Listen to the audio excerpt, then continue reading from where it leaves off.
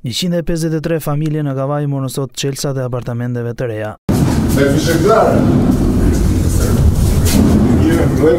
Kryeministri Rama shfrytëzoi rastin për t'i përcjellë një mesazh kritikuesve të procesit të rindërtimit. Pra nga momenti kur ju hyni në shpi jeni pronarë të këtyre shpive dhe duke qenë se këtu jemi në një zonë me Me përmbajtje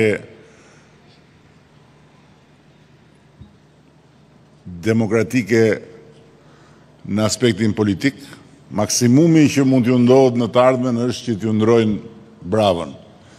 Po ngjyrën e bravës, se çelësin nuk ja u marrin dot. Jo, këto nuk janë lekët e botës. Në gjithë programin e rindërtimit, Kontributin kryesor e ka qeveria shqiptare dhe ne jemi shumë krenarë për këtë. Ndërsa zëvendëskryeministri Arben Ahmetaj tha se në janar do të vijojë shpërndarja e bllokut tjetër të apartamenteve.